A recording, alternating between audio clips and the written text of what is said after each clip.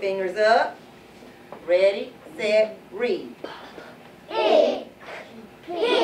Very good. The purpose of the literacy camp is to help our kindergarten through third grade students, and we also have invited our fourth grade students as well to build their background knowledge, to work on phonemic awareness, to work on their phonics skills, and to close the gaps, learning gaps that they may have had during this pandemic. So in the mornings, we are diving into our literacy component. That's with our phonics, phonemic awareness, our um, sounds, our word building, our fluency.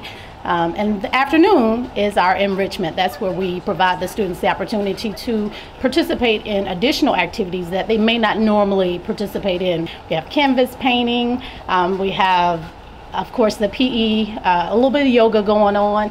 So, all of the activities that art, music, that kids love to stay for, and that's usually when we hear, we're not ready to go home. So we're having an under the sea theme literacy camp for the students here at Collier to help bridge any gaps or skills that they have may have missed during the school year so that they're prepared for next school year. They come in the door, there's bubbles blowing and they're popping the bubbles as they walk through and everybody's saying good morning and there's all different themes and different music and then they start seeing extra little things going up on the walls and so they're getting excited about it seeing all the extra that's put into it.